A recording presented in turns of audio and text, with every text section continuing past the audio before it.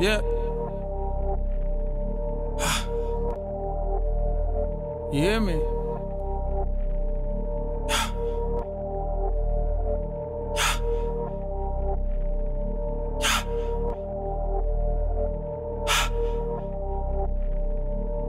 Pocket aces from the city.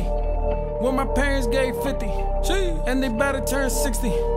I guess it really hasn't hit me. Who I'm doing, what I'm doing must got me busy. Yeah, gotta make this dough. Gotta make sure mom and dad both know that they can choose a place to make their home. Cause their job is done and their kids is grown. Ain't no division when you working on commission. You hear me? Ain't no division when you working on commission. Working on commission. I know you hear me. Ain't no division when you working on commission.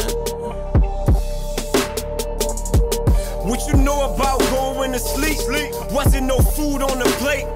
Nah. And what you know about going to sleep? Brothers and sister ain't eight. Yeah. That's why I go hard for my fam. That's why I does all that I can. Yeah. Since 14 I had to be a man. Facts. That's when I started moving them grams. That's when I got caught in that jam and I was facing seven. Then I prayed to God in the heavens, like just get me out, and that's what He did. Right. Man, I can't thank Him enough for that shit. Nah. I owe Him my life. Yeah. I done earned my stripes. Yeah. I was going left. Yeah. And then I took it right. Yeah. You know what they say? They say pressure busts price, but if you put God first, you gon' be alright, my nigga.